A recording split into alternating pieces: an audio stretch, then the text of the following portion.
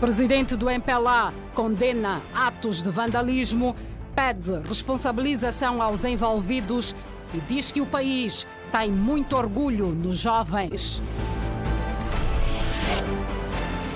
Presidente do MPLA lamenta detenção de jornalistas devidamente credenciados e pede para que situações do género não voltem a acontecer. O presidente do MPLA lamenta os acontecimentos do último sábado e condena o envolvimento da UNITA em atos de desobediência civil.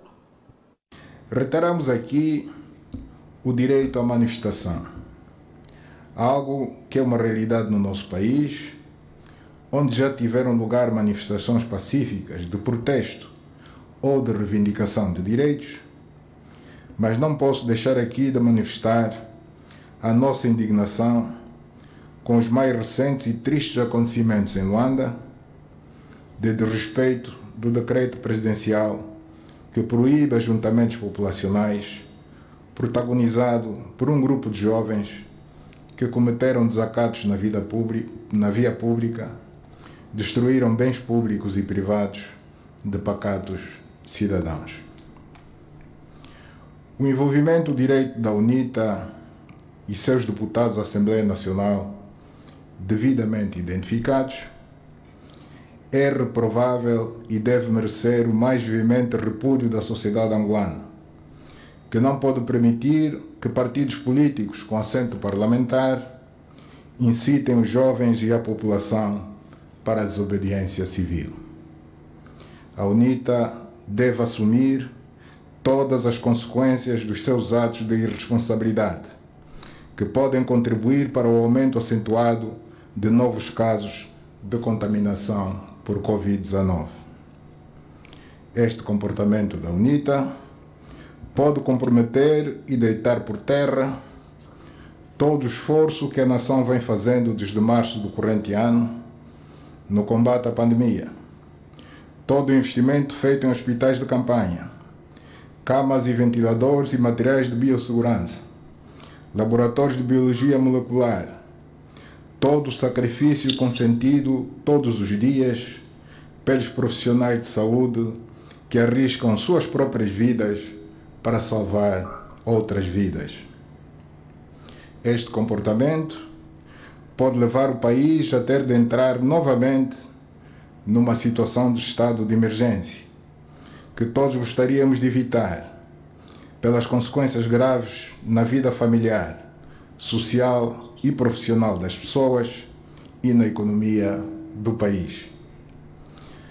A estratégia de tornar o país ingovernável para forçar negociações bilaterais no atual contexto político em que as instituições democraticamente constituídas funcionam em pleno não é concretizável perante a probabilidade de réplica do que se passou em Luanda pelo país fora, as autoridades competentes vão continuar atentas e cumprir com seu papel de manutenção da ordem pública e fazer cumprir as medidas tomadas no quadro do estado de calamidade pública.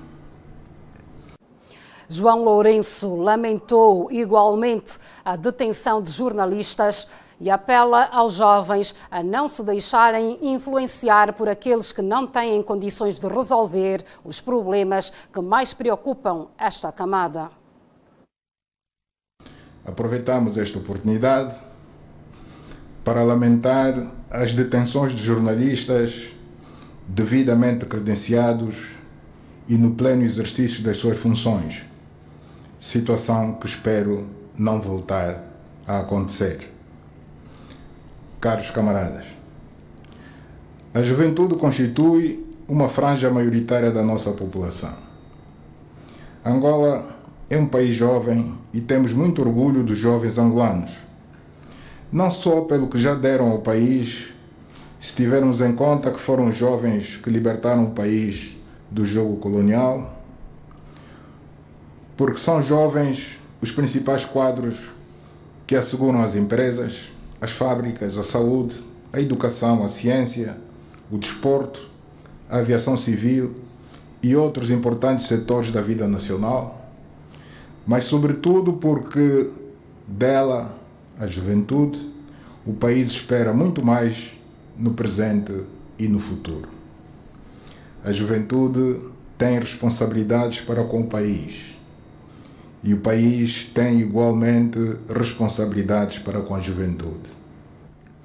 Nosso apelo para os jovens vai no sentido de não se deixarem manipular por aqueles que não têm condição de resolver os vossos problemas de educação, saúde, habitação e emprego, porque esses problemas já estão sendo resolvidos à medida do possível pelo Executivo e seus parceiros, o setor empresarial privado. Apesar da conjuntura, aumentou a oferta de salas de aulas, de unidades hospitalares bem equipadas, de alojamentos habitacionais e de empresas e unidades industriais que empregam os nossos jovens. E sobre a celebração dos 45 anos da independência e do aniversário do MPLA, João Lourenço pediu aos cidadãos e aos membros do MPLA a darem o exemplo em respeito às normas que vigoram. O país prepara-se para comemorar o 45º aniversário da sua independência nacional, a 11 de novembro. Ainda no ano passado, aprovamos um vasto programa comemorativo que, entre outros, previa um grande ato de massas de frente ao Memorial Antônio Agostinho Neto, com desfile civil e militar. Lamentavelmente, no início do corrente ano, fomos surpreendidos pela pandemia da Covid-19, que gorou nossos planos de festejar condignamente esta data, a mais importante da história do país pela salvaguarda das vidas dos angolanos, nosso sentido de responsabilidade levou-nos a adequar o programa ao momento atual de pandemia que o mundo vive. O mesmo acontecerá com as festividades do 10 de dezembro, quando comemorarmos o 64º aniversário do nosso partido. Para ambas situações, exorto aos cidadãos angolanos e aos membros do MPLA a dar o bom exemplo, cumprindo com rigor as recomendações das autoridades que estiverem em vigor na altura. São as circunstâncias que nos obrigam a isso.